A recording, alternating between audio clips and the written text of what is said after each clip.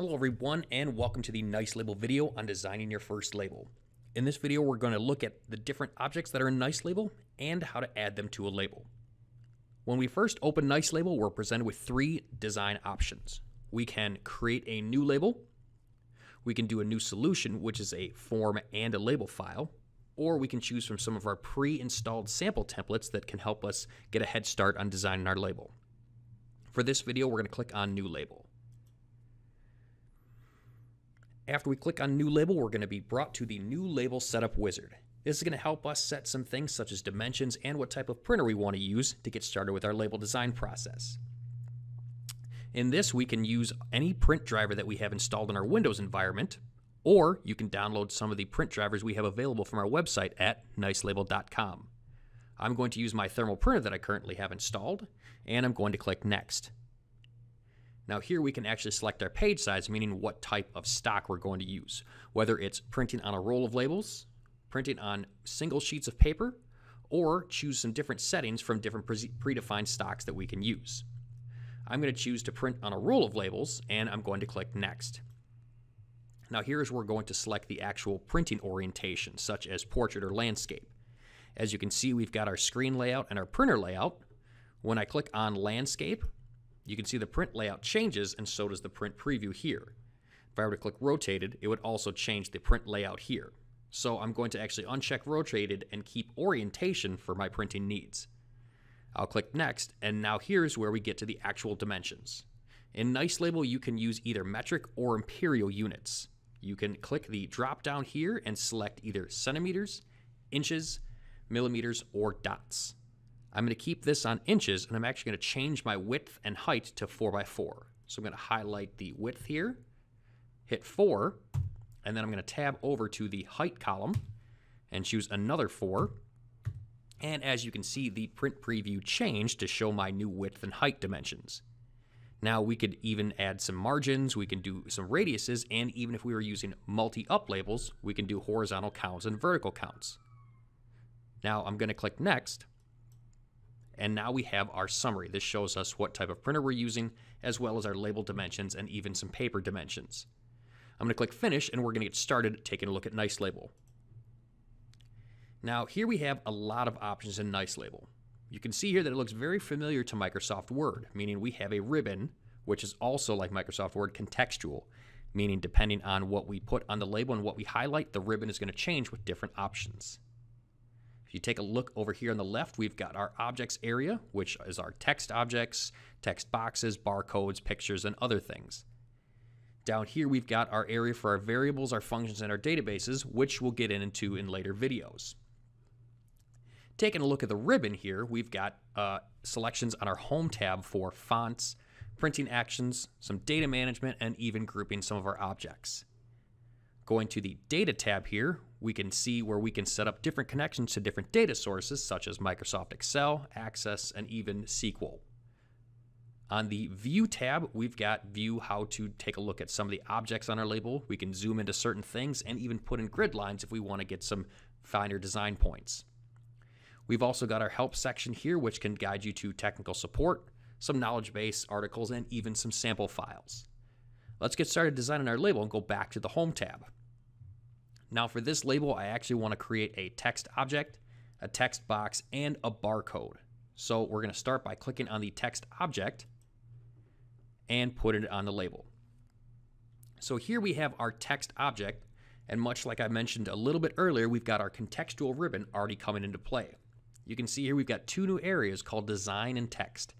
If I click on design, I can see I've got different design options here, such as position and anchoring, and text will help us edit the text as far as scaling, different size fonts, and even different type of fonts.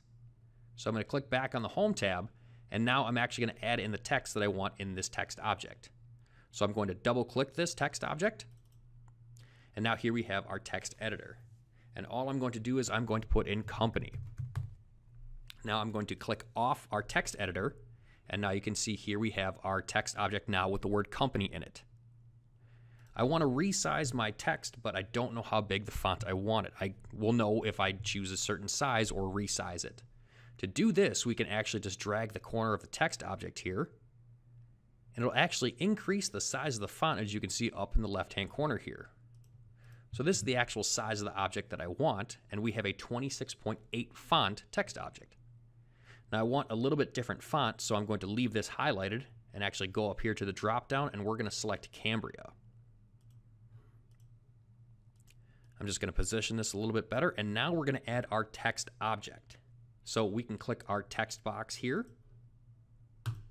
And same thing, just like our text object, our text box, we can double click and highlight it. And I'm actually going to give an address to this, which is going to be 123 Main Street